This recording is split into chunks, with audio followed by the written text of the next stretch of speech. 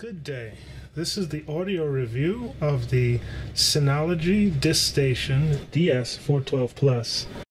The DiskStation DS412 Plus is a 4 bay diskless NAS, meaning you'll have to purchase your own disks to install them. So we're going to do a quick look and see what comes in the box right from the factory.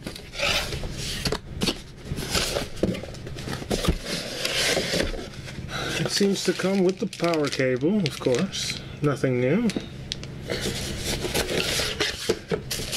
The manual, the power supply. Oh, it even comes with network cables.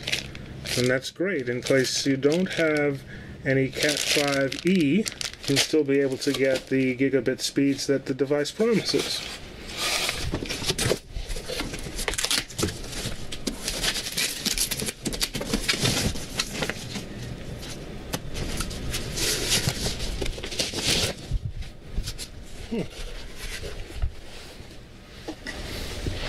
Device is surprisingly light, I guess, without the discs in it. Uh, name on the side.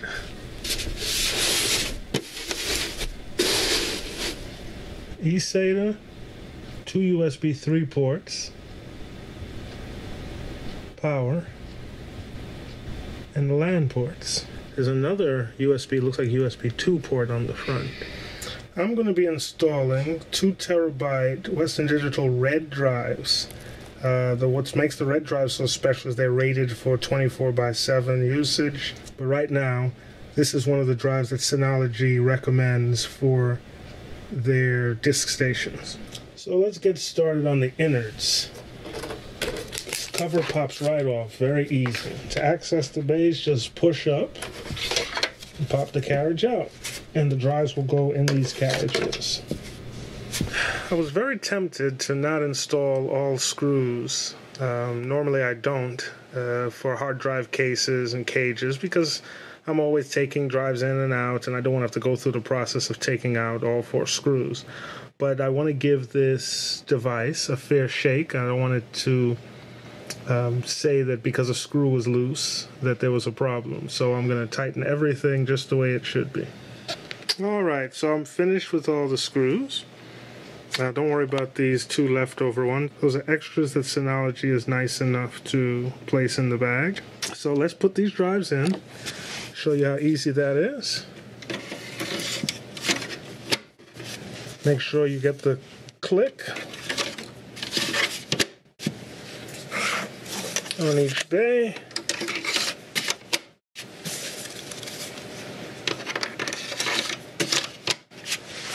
that simple. It's a little bit time consuming to put in all the the uh, screws. I wish they had come up with a toolless installation, but you have to admit that the screws make for a tighter fit and um, much more secure. So let's go ahead and get this installed in the network. So now I've got the device plugged into my network, and the power light is just flashing to indicate it's not on. So I'm going to go ahead and turn it on now. So at this point, a funny thing happened. The DiskStation comes with software called um, DiskStation Assistant, which probes the network and finds the device and gives you an opportunity to install your OS on it. According to the instructions, just install the drives, run the DiskStation Assistant, follow the instructions about installing the OS, and then you're able to configure the DiskStation. However, in my case, the DiskStation Assistant found nothing. I ran it a couple of times, couldn't find anything on the network. Did some troubleshooting, um, changed out ports, made sure I was getting an IP address, still couldn't find the DiskStation.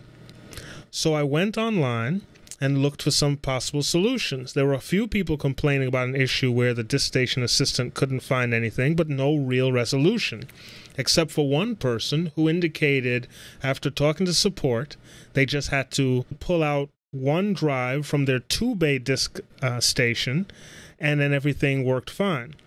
Well, I tried that in a few different configurations, pulling out one drive, then installing the drives. Nothing seemed to work. Till I figured out that you have to pull out all the drives except the fourth drive At that point, the DiskStation assistant was able to find the device. I was able to install the software, and everything ran smoothly from that point on.